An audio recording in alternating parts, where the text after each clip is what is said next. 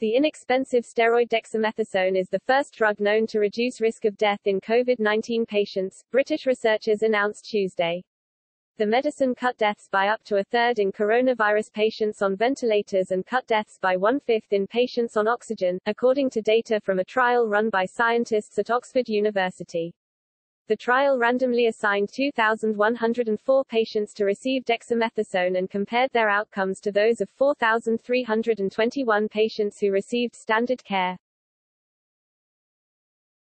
Dexamethasone, widely used to treat inflammation since it was first approved by the FDA in 1958, helps reduce inflammation that develops when the body overreacts to the virus. There is no evidence the drug helps mildly ill patients, but in those on ventilators, more than half of whom die, according to recent studies, the impact would be significant.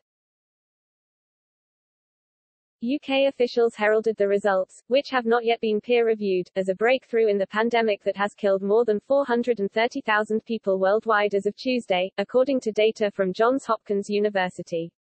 This is a groundbreaking development in our fight against the disease, said the government's chief scientific advisor, Sir Patrick Vallance, in a statement, adding that it is particularly exciting as this is an inexpensive widely available medicine.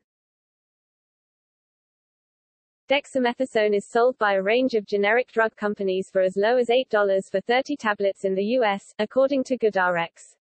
The drug would be the first known to reduce deaths in COVID-19 patients. Another medicine, Gilead's remdesivir, shortened recovery time in randomized trials. Dexamethasone is part of the recovery trial, one of the largest in the world exploring potential coronavirus treatments.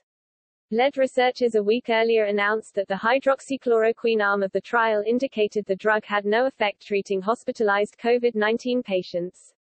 The survival benefit from dexamethasone is clear enough that the medicine should become standard of care for patients sick enough to need oxygen, said Chief Investigator Peter Horby, an Oxford University professor of emerging infectious diseases. Former FDA Commissioner Scott Gottlieb also applauded the news in a CNBC Squawk Box interview Tuesday morning. This is an important finding, he said.